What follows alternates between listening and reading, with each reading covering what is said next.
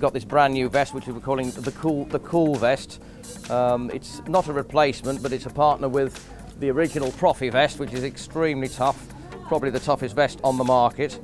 Um, we've had some we've kept the same, the same features with the, with, the, with the, the, cool vest as we have in the standard but it is a little bit lighter with this their Airtex military grade netting on the back uh, it just makes it a bit lighter a bit cooler certainly uh, when you think of the rather extremes we've had certainly last week this, is, this would be the vest to wear.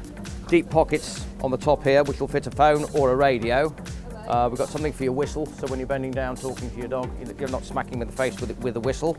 We've got netting pockets for, for tennis balls and that sort of thing. We've got a detachable inner pocket, uh, which is extremely good um, if you want to use this as a, a falconry vest, because uh, falconers have a ten tendency to put dead chicks and other horrible things uh, in the pocket. Uh, so that, that, that will come out and that, that will wash. It's also quite good as a safety flash. Uh, so if you're, if, you, if you're training late at night or coming back after picking up, you can walk down a lane quite happily and they can see you at the front. And if I turn it round for the back, there is a detachable piece here, which is quite good for two reasons. You, you can sit on it, and then if you're coming back again, as I say, late, late at night, uh, you've got a safety flash you can put on the back of, back of the vest. Uh, again, so you're, you're, you're absolutely visible. It comes in uh, this, this olive, olive green, it comes in brown uh, and, and, and, beige. Uh, we also do a, a, a wax version, uh, which we have in dark, a dark brown wax, um, or what we call the Sahara, which is, which is as the name suggests, is more, more, of a, more of a sandy colour. And I think it's about the only vest on the market with something to hang it up. This is called the Sidekick. It's new from an American company, RRT. Uh, RRT make an extremely good, uh, very, very, very modern hand launcher. What you would do, you would start off with, with a hand launcher exactly like this. Um, very simple operation, 2-2 blank in there.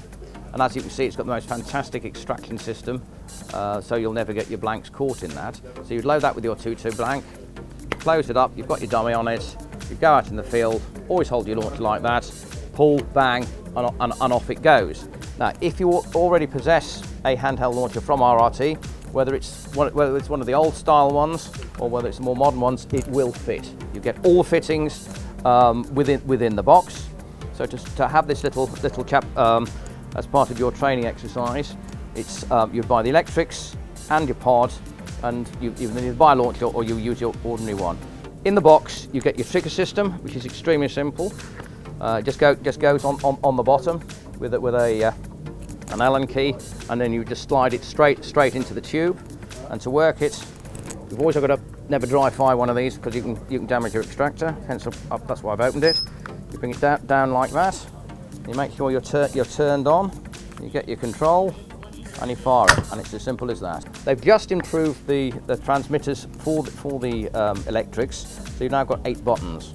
So what you can, can do with these, you can either set them up in a line if you buy more than, more, more than one, two, three, four, or five, and you can connect them with, with wires, so you only, only need to buy one set of electrics, or you can buy a set of electrics with each um, uh, sidekick, and then you would have this, this programmed as number one, then you'd have number two, number three, number four, up, up to eight. So you can have these scattered around your training field uh, and, and birds and, and, dummies dropping out the sky.